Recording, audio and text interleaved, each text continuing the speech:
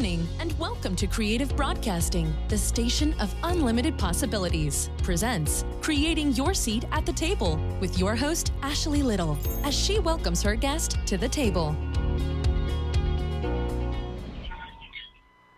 Welcome to Creating Your Seat at the Table. I am your host, Ashley Little. A little bit about myself corporate professional by day, entrepreneur by night, five time best selling author, CEO, and founder of Ashley Little Enterprises, LLC, owner and creator of Creative Broadcasting, and founder and owner of Talk Radio and TV Network, LLC.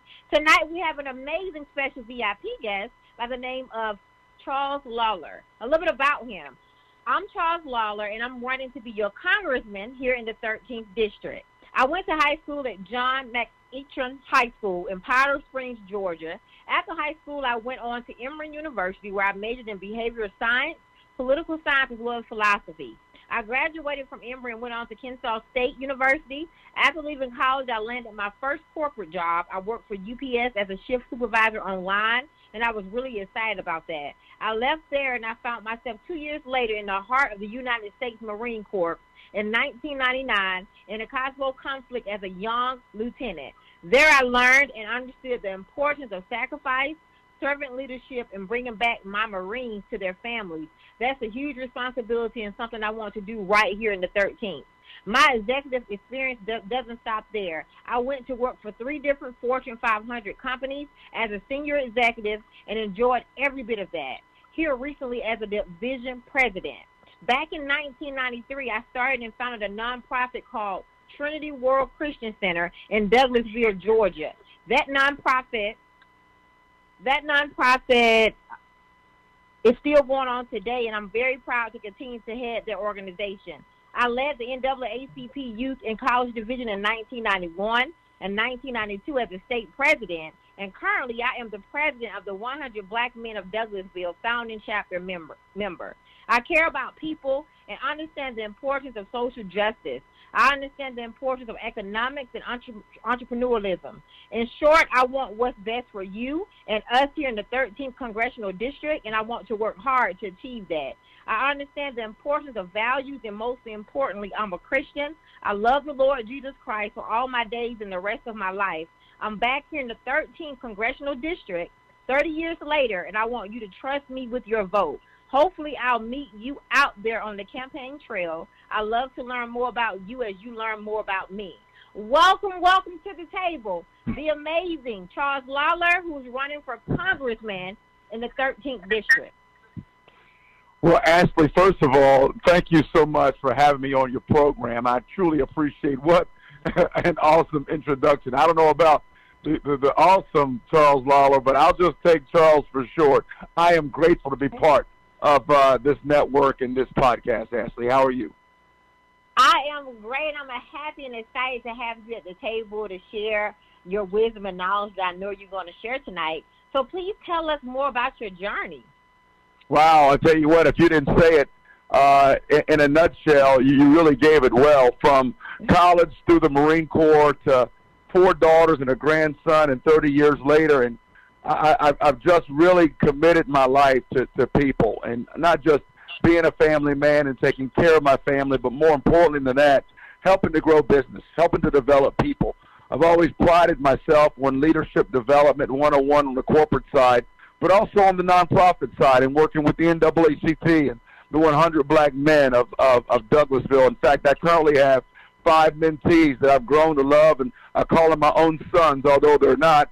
I call them the sons that God didn't give me through uh, my relationship with my marriage. Um, and and really, it, it, that's what it's about. It's about taking a look at the journey that people are on, and how can you make a significant impact in their lives? How can you make their lives better? I've worked in and around politics for over 21 years. Ashley, I I started right here in Georgia as an aide for Senator Eugene Walker and Arthur Langford, both Democrats. My parents were, were, were Democrats, true conservative Democrats to the fiscal number. And they raised me to understand and have compassion for people, but also to understand there are no free rides. You have to take care of yourself. You have to be responsible for doing the right thing. My dad always defined integrity as what you do when no one's looking. I went on uh, up in Maryland and was elected official up in Maryland as a uh, in the Republican Party as a as a Republican official. So I've seen both sides of the political spectrum, both the Republican and the Democrat spectrum. I've seen both sides of the social justice conversation. I've been in both sides. I've led not just in the military, but also I've led in corporate America. And I truly believe it's time for America to get a better choice. That's the only reason why I'm running as an independent. So my journey, actually, it's been filled with helping people. That's my focus. How do we take someone from where they are and needed assistance or needed direction or needed guidance, whether in the African American community or any community that is struggling or having a harder than normal time here in America, and make their lives better? Because I truly believe that the American dream is for everyone. There's no ceiling in the amount of success financial capital, love, relationship, and success that someone can have. And I'm grateful to be a tool that God uses to help implement that in the lives of so many people. Amazing. And that's that's so so true. And I just want to commend you for creating that space and being able to be the change. Because, you know, that leads to my next question. So why independent now when you ran as a Republican and held a seat as a Republican? That's a great question. I I, I, Ashley, I've been blessed, and it's going to sound almost contradictory when I say this, Ashley, but I've been blessed to see both sides and to be hurt by both parties and both platforms. And I mean that with the truest amount of integrity and sincerity possible. I've also been blessed to see both the good points that both sides have, whether it's a Barack Obama or a George W. Bush, or whether it's a a, a Martin Luther King or a Malcolm X, right? That, those are my two personal mm-hmm. favorites. I've been blessed to see both sides of the political spectrum, and right now our country is poised. I mean, we're in a very, very, very pivotal situation. I know you hear elected, not elected, I'm sorry, uh, presidential candidates been, have been saying this on the um, presidential trail, left and right, and there's so much truth in what they're saying uh, we are on the cusp of something very serious, not just when it comes to the fiscal concerns that our country continues to have and the trillions of dollars of debt that we face, but also the soul of our country is at stake. We've seen the most polarized administration in some time, separating one side from the other. And the, the, the, the, the danger here is there's truly good points on both sides. And you're going to find that most true Americans find themselves in the center. They're concerned about their families. They're concerned about feeding their families. They're concerned about their success in America. And they're less concerned about what someone else is doing in their own private lives. They just want government to do what it's supposed to do with their tax dollars, and that's take care of their interests. That's all they're concerned about. And they're less concerned about trying to control and manipulate the lives of others. People, true Americans, black, white, or indifferent, uh, I'm sorry, black, white, red, or brown, whatever colored spectrum, they're mostly concerned, Ashley, about taking care of their family, their family's needs, and their family's success. And I truly believe that now is the time for an independent movement. I truly believe it. And I, and I believe that most Americans can see that handwriting on the wall. They're tired of the polarization politics. They're tired of hearing uh, two candidates get on a stage and just tear each other down personally and tear each other's policies apart instead of finding out what is uniquely good about the one, what is uniquely good about the other, and how do we find a way to blend those two ideas, blend those two policies to make something that works for all Americans. That's all I want to do. Being a Marine Corps officer, Ashley, I'll be honest with you, we could care less who was Republican or Democrat when the bullets started flying. We could care less who was white or black when the bullets started flying. Here's what we're concerned about. How do we make sure we get back home safely? And how do we make sure we uphold the Constitution and, and defend it against all enemies, foreign and domestic? That's all that matters to us. I truly believe with this millennial wave and the Generation Y and Zers, the wave that we're going through right now, Americans are more concerned about where we are and they're less concerned about fighting and the polarization between two parties. And quite frankly, in my 22 years of political experience, I'm tired of it too. I really am. I truly believe an independent movement for me and my candidacy and for the constituency that I hope to lead is the right way to go.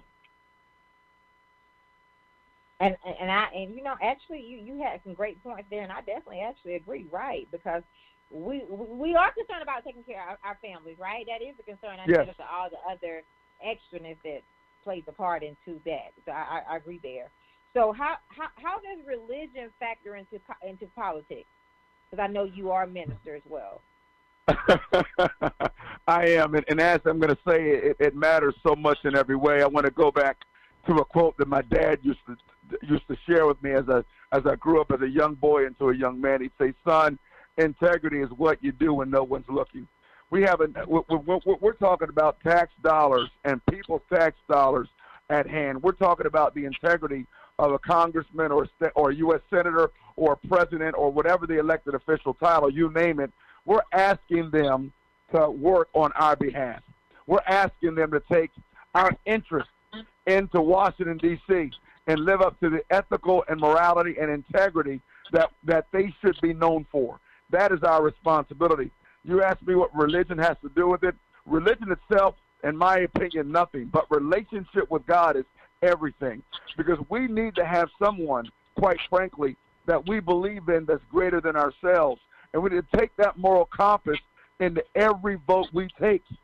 If, if, if, if, if faith has nothing to do with it, then what does have anything to do with it? It truly is about faith, how we carry ourselves, how we, how we, how we feel when we cast that ballot, specifically against something we know we don't believe in. I would always tell people on the campaign trail, and I still do it today, that I that I just I would just rather tell the truth every day, so I don't have to think about what I said yesterday. And to me, that makes all the moral sense in the world. We need more elected officials with ethics and integrity, and I think that starts with relationship with the Lord Jesus Christ. Now, for somebody else, Ashley, that might be the relationship they have with Muhammad, or it might be their their relationship they have with meditation and Buddha. I'm not sure what your personal faith is, but I think it's important, Ashley, for people in leadership positions, specifically politically, to believe in something greater than themselves. Mm-hmm. I think that's at the heart and at the soul of every leader in this country. And I think we've lost that. And I just want to be bold when I say that. Some of your listeners might not agree with me, but I think currently what we have in, in this current administration, we have lost that. And, and we, we, we, we've allowed our ethics to be shrunk to is, is, is the stock market moving fast enough and are we making enough money? And our decisions can't be driven by dollars and cents. They got to be driven by that, by that father and that mother that's making that decision about whether they should put five more dollars of gas in their car or get bread and, and, and, and, and, and food for their family for lunch for the week. It has to be driven by that young lady that's struggling to make ends meet as she has to raise two, three, and four kids on her own. It has to be driven with a compassion and a sincerity, not based upon how well the stock market's doing, but how are our constituents doing and how do we make their lives better. To me, that's what faith has to do with it. Mhm, mhm.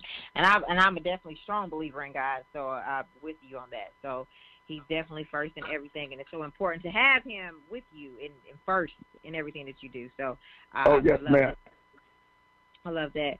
So how does your business experience translate in, in supporting the 13th congressional district?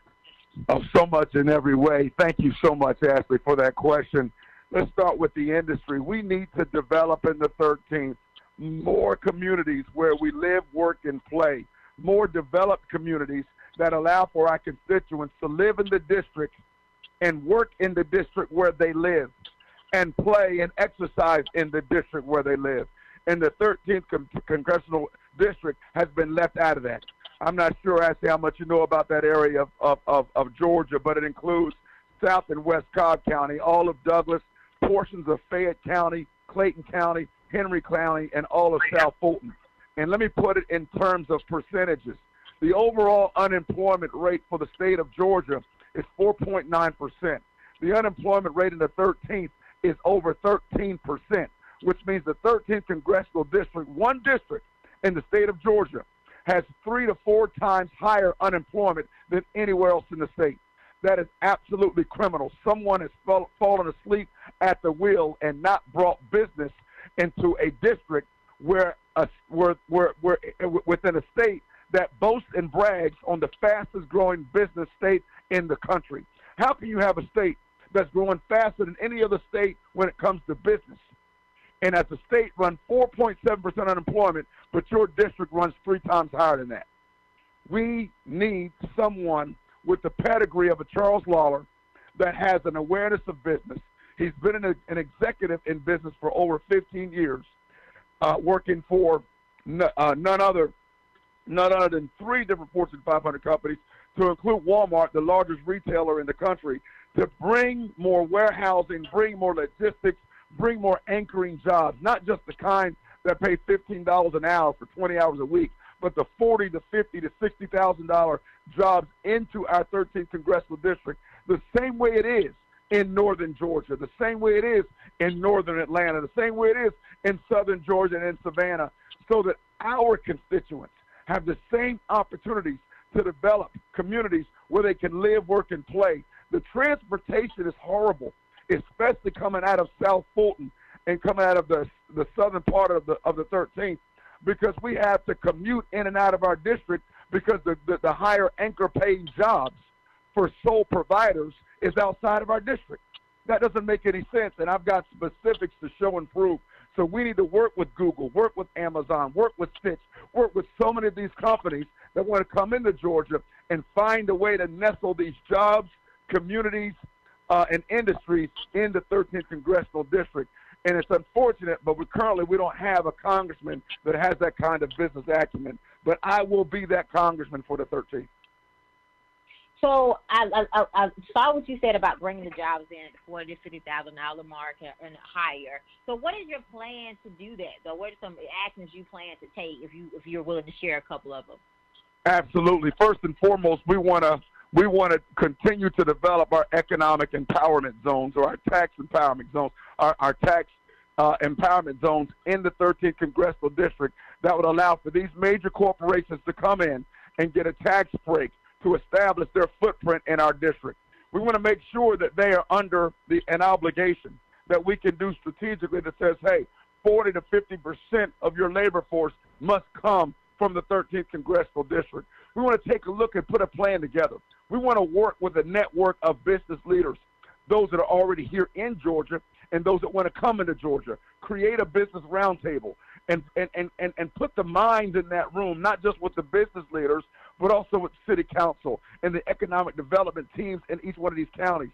Create a synergy by which we're saying here's the here's the business, here's the community, here's the work livable playable, here's here's the paradigm. Now how do we get there? You put the right people in the right room having the right conversations, there's nothing that can't be done. My problem is it hadn't been done yet. And every company, organization wants that opportunity to find a place I mean, Amazon's begging for one right now, as well as Google. They want to find a place in Georgia where they can come in and say, you know what, provide us tax incentives. Yes, we'll make sure that 80, 40, 60% of the workforce comes from the 13th, and let's get let's get it done. Let's get business done. These are things I've done already in my corporate positions over the past 15 years. I know it can work for the 13th. I love that for our listeners that are listening. That that's amazing. Okay, I love that.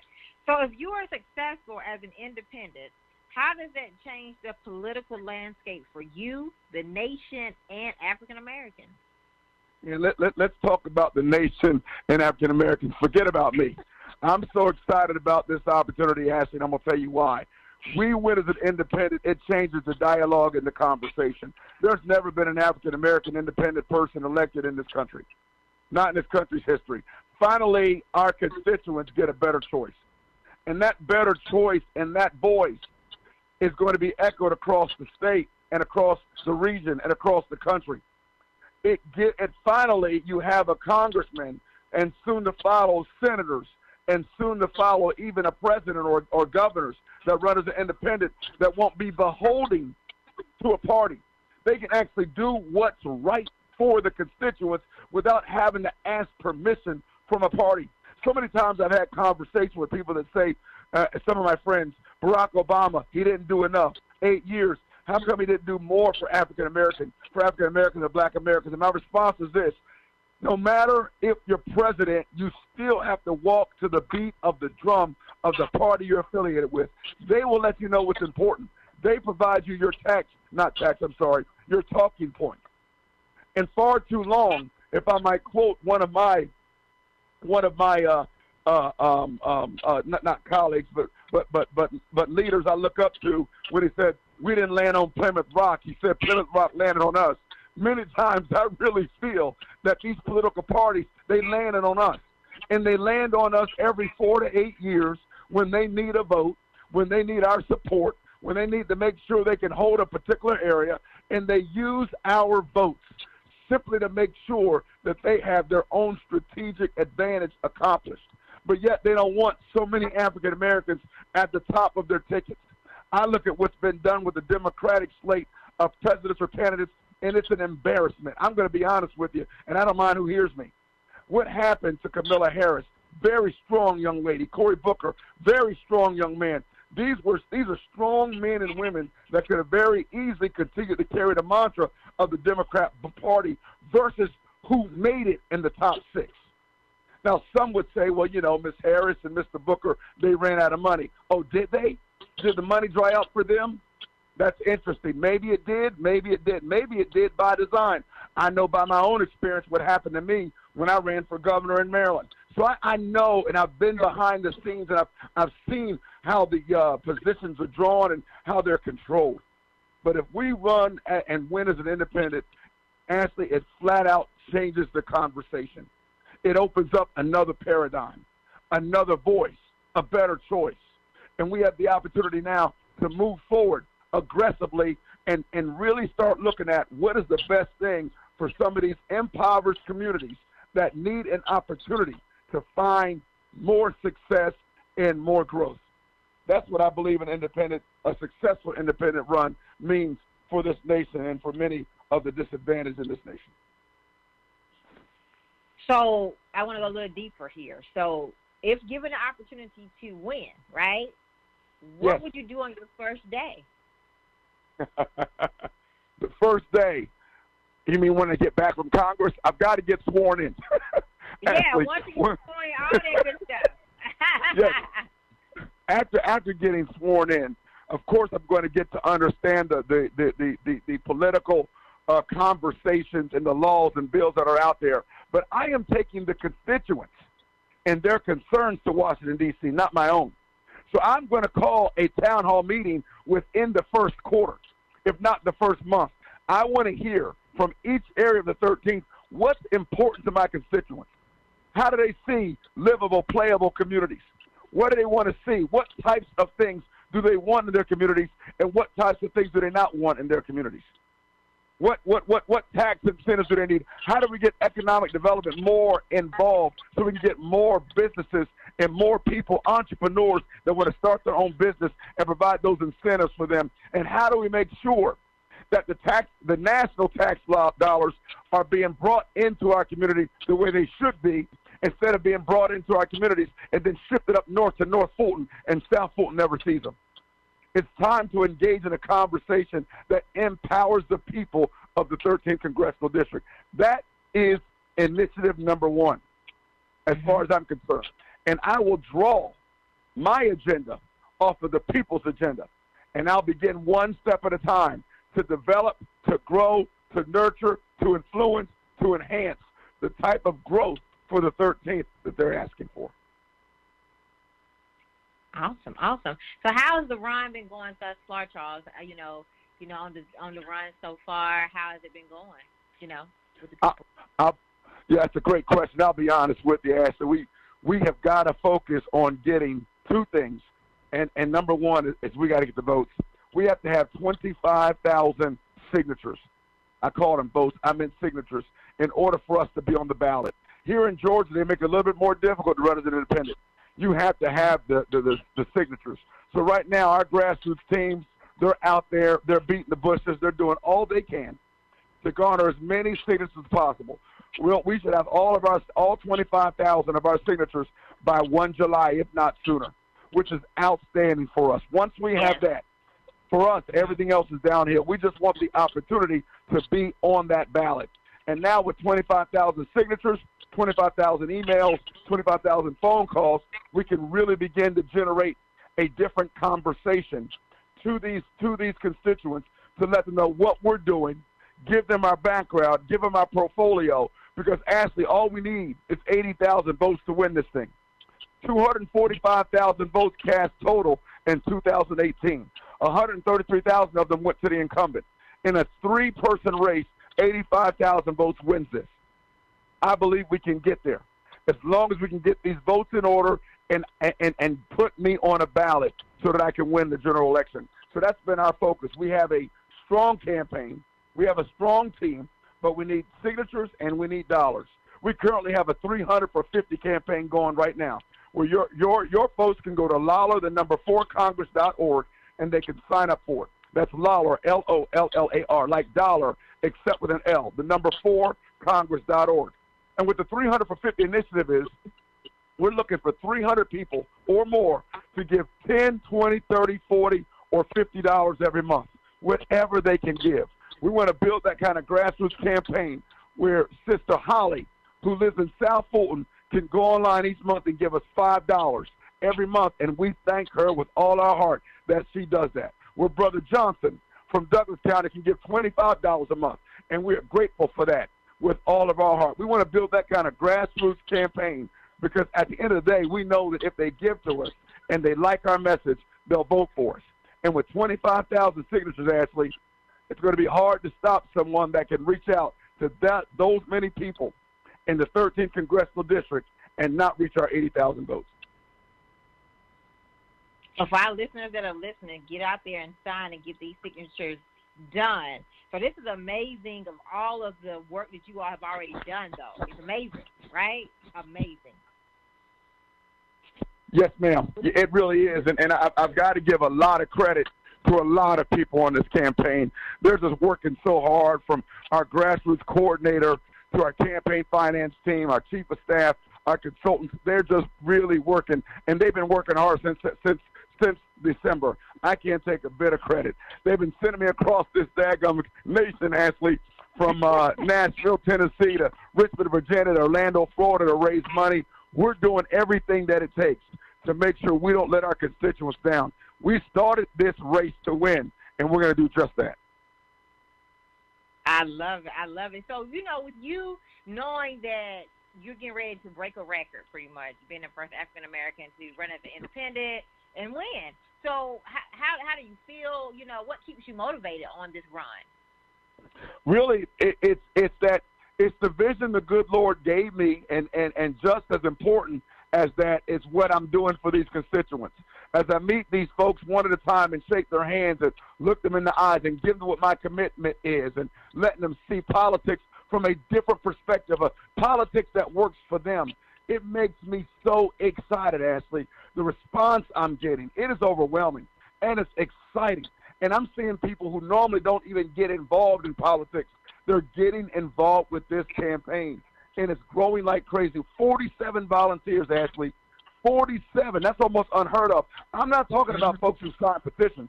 We have over a thousand people so far that signed, but we got 47 people in the second or third month of the year already volunteering to get work done, to be grassroots uh, activists, to help with communication, to help stay, uh, uh, uh responding and saying thank you to every gift that's given. That's what excites me. That's why I get motivated because there are people that see that not only is this tangible, not only can we do this, but we can change politics in the state of Georgia and across the country the same way Stacey Abrams should have been able to do it. And she would have had it not been for a couple of things that I felt like did not work in our favor as they should. Mhm. Absolutely. I agree with that. I agree with that. So how can people reach out to the campaign to support your run? How can they do that? Oh, Ashley, thank you for asking that. I mean that. Thank yeah. you, ma'am. They can go to lollar4congress.org. That's Lollar like dollar except with an L, L O L L A R. Lollar, the number four Congress.org. And they can go on that website and they can they can give five, ten, fifteen, twenty dollars. They can sign up and give us their names, and and even if they don't live in the district, give us their names and, and email addresses. And they may know someone in the district. Let us know who that is. That is the best way to communicate. You can also catch us on Facebook, and you can also catch us on Instagram and Twitter. We have a full outlay of social media um, and a social media team that's driving our social media right now because we need our millennials to get involved. So the, the best way to get the support, go to Lollar number four Congress.org and get signed up. We need your your your your your your, your constituencies. We need your folks. I need them. Go to Lollar the number four Congress.org and get signed up. That would be great. Lollar the number four Congress.org for all of our listeners that are listening. Go get signed up and get into the race to help Charles get to the finish line. Charles, thank you so, so much for taking the time to come to the table today to share the amazing things that we know that you're going to do once you get into office. And I can't wait to see all that God is going to do for you in this new year. Amen. God bless you. And you know what? Thank you for what you do. The voice you give on programs like these, specifically yours, it's an inspiration and it's a blessing. Keep bringing folks to the table so the community can hear these ideas and values. This is what a free America is all about. And this is what it means to turn the corner for a culture, specifically African Americans that aren't used to feeling and sensing and seeing this kind of success, energy, and information that you bring. Ashley, thank you so much for what you do. And if there's anything sincerely that I can do for you, please let me know. I will do, and thank you, thank you so much. And I look forward to seeing you win this race. Amen. God bless you. Thank you so much. Thank you. Thank you. So I would like to give a special thanks to my intern, Sarah, from Tennessee State University, and my intern, Vontaria, from Winston-Salem State University. You all may follow me on Facebook at Ashley Little and on Instagram at underscore Ashley A. Little. Thank you. Thank you for tuning in to another episode of Creating Your Seat at the Table, where Ashley speaks with corporate professionals, celebrities, entrepreneurs, authors, and speakers who are transitioning or have transitioned to entrepreneurship.